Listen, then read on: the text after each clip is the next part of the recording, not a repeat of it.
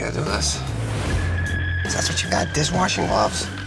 We're gonna look like a bunch of amateurs. Look at this. A sawn off shotgun. It's what you asked me to get you. It's gonna kill everybody in the room.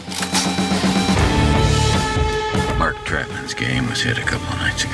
Hey, hey, hey! Give it all up, nobody gets hurt. It's only money. So where do we go from here? We start with Trapman.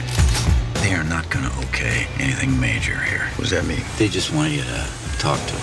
Hey, what's going on? Hey, hey! Talk to him. Shove him around a little. Don't hurt him too badly, because they don't want him hurt.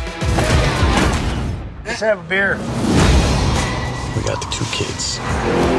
One of them starts bragging about how he just knocked over this guy's game for 100K. I don't know what it is with these guys. They can't keep their mouth shut about nothing. Goes up like a bonfire. I love it.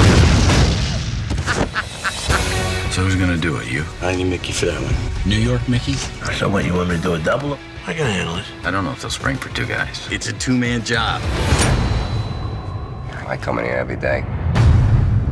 I know. Look, I don't know you. Very few guys know me.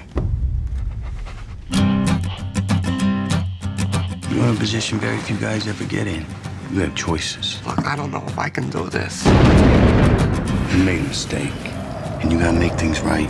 There's a man going round taking names, and he decides who to free and who to blame.